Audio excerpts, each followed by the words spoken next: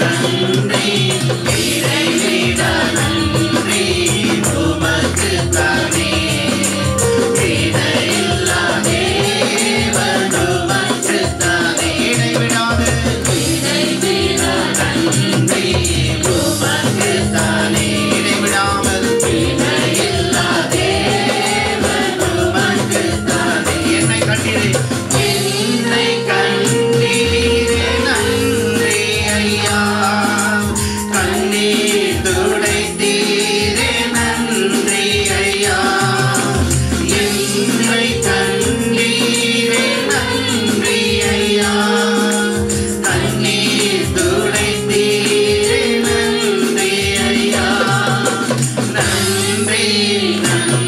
Please.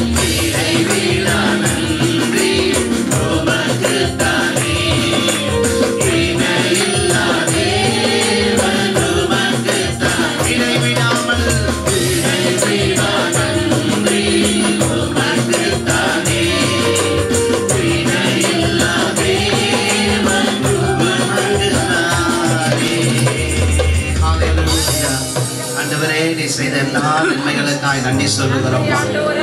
ஒவ்வொரு நாளும் எங்களுக்கு உண்ண உணவை கொடுத்து கொடுக்க நல்லவரை நல்ல உடையை கொடுத்து இருக்க நல்ல ஒரு இடத்தை கொடுத்து தேவர்களை சந்தித்து நடத்துகிற எல்லா தெய்வத்தாய் நன்றி ஆண்டவர்.